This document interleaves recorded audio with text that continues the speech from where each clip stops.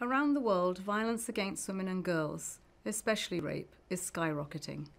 Many incidents have triggered widespread outrage, yet some keep trying to play the oldest game in the book the blame game. Blame the COVID 19 pandemic, blame social and economic stress, blame uncertainty, even outrageously blame the victim, usually a woman or worse still, a girl. Blame anything, everything but the perpetrator. Let's be really clear. Sexual violence, in any form of violence, is simply violence. There is absolutely no excuse, there is no justification, and there must be zero tolerance. All of us must stand together and speak out. Try by joining the EU and the UN initiative on Spotlight to fight violence against women everywhere, in our societies, our communities, and at home. I'm the proud mother of four daughters.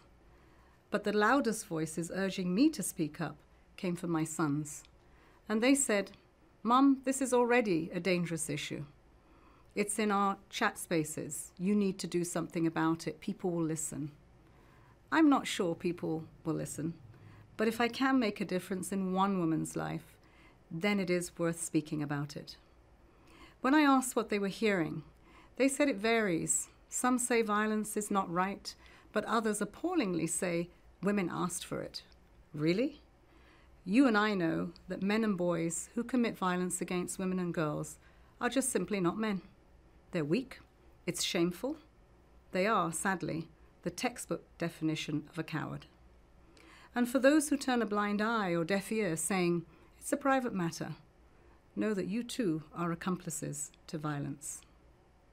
Now we can agree to disagree, but because of these attitudes, millions of women and girls face the clear and present danger of the threat of violence and rape every day, at home, in school, and these days online.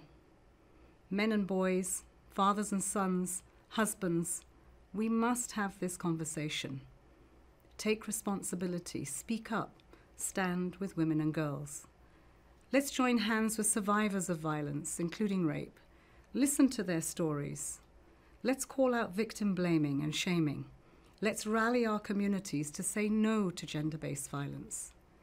Let's remember that if not for a woman and her nine months of labour, I'm not sure that you men would be here today. So let's stand with our mothers, our sisters, our daughters, our partners, and together let's declare in one voice I'm with her.